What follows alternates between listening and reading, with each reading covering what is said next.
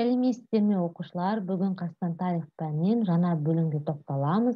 Оныншы ғасыр мен он үшінші ғасырдың басындағы қазақстан ал сабақтың тақырыбы он он үшінші ғасырлар басындағы қазақстан территориясындағы саяси процесстер оқушылар осы тақырып бізге екі сағатқа берілген. Бүгін бірінші сабағын өтеміз. Дәптеріңізді ашып бүгінгі сабақтың тақырыбын жазып алыңыздар. Зерттеу сұрағы он он үшінші ғасырлардың басында саяси карта қаншалықты өзгерді?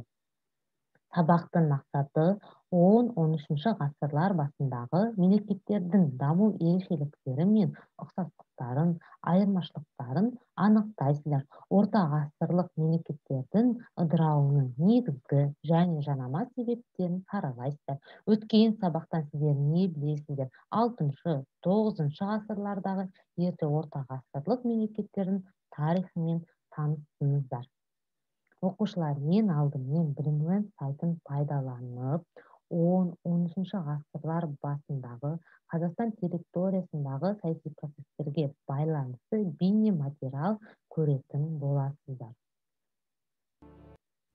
Батыс түрік қағанаты туралы не білесің? Түргеш қағанаты туралы қандай маңызды ақпарат білесің? Қарлұқ қағанаты кезінде қандай маңызды оқиғалар болды? Оғыздар жайлы не айтасың? Қимақтар жөнінде не білесің? Оныншы ғасырдың басында саяси картаның өзгеруіне ерте және орта ғасырлық мемлекеттердің ыдырауы негізгі себеп болды. Батыс түрік қағанаты туралы не білесің? Батыс түрік қағанатындағы қаған билігі шығыс түрік қағанатына қарағанда әлсіз еді. Он оқ будун елінде қаған билігіне наразылар көп болды.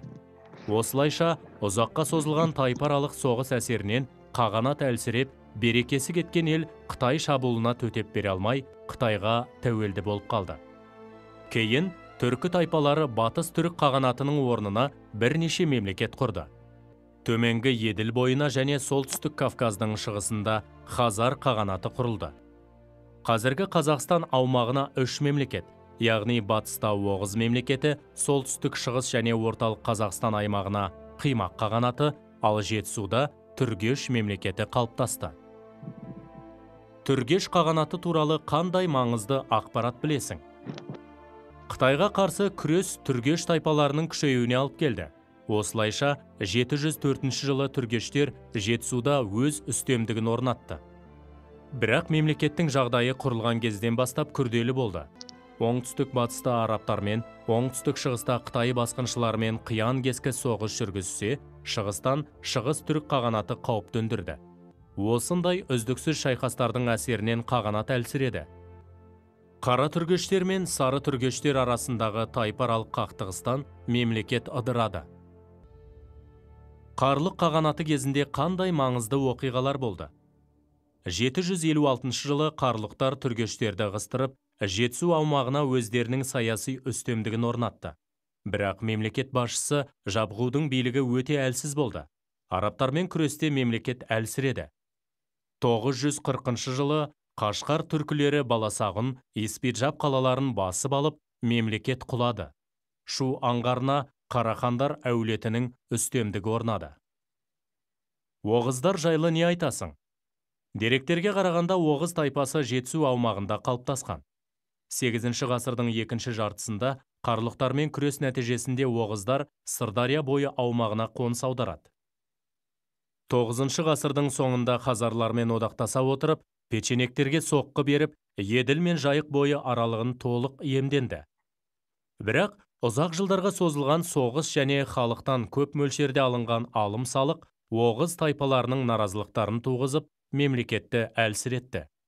Сөйтіп 11 ғасырдың екінші жартысында күшейе бастаған қыпшақтар оғыздарды сырдария арал бойынан бір жолата ығыстырып билікті өз қолдарына алды.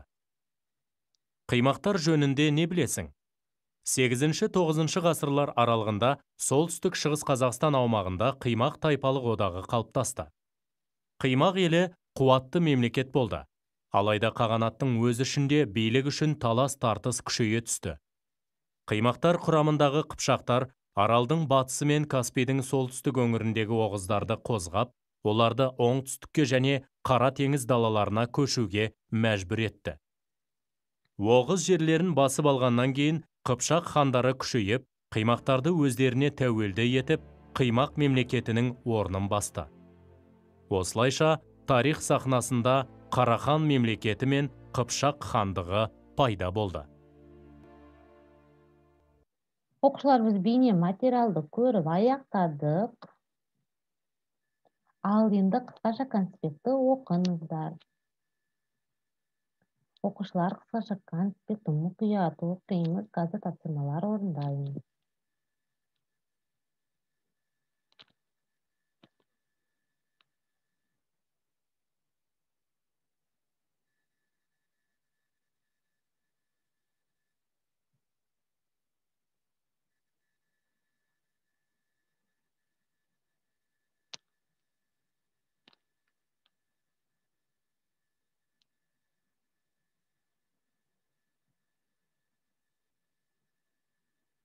Оқушылар егер сіздер қысқаша конспектті оқып болсаңыздар тапсырма орындайық. Бірінші тапсырма ақпаратты анықтап иә немесе жоқ деп белгілеңіздер. Бірінші темучин наймандарды бағындырып олардың бір бөлігі қазақстанның шығысына келіп орналасты.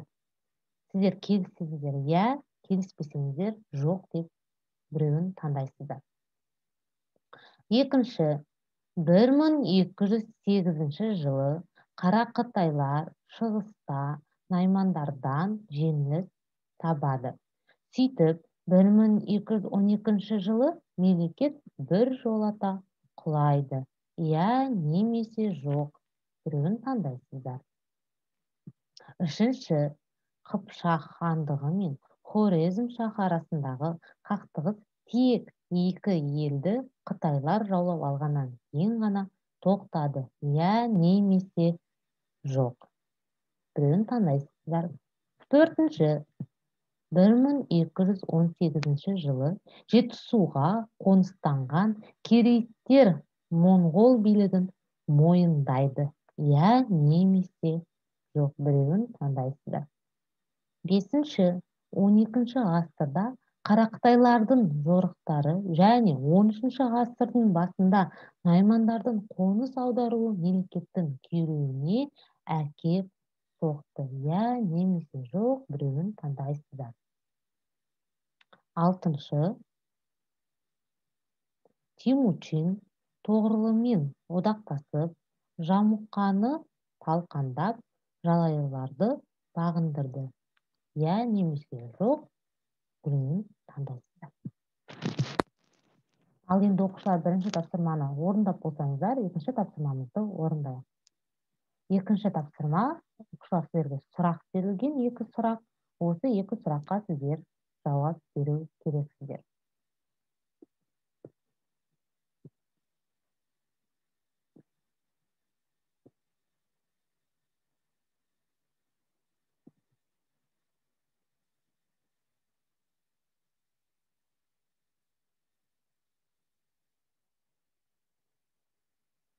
оқушылар егер тапсырманы орындап болсаңыздар бүгінгі біздің сабақ аяқталды. Сау болыңыздар.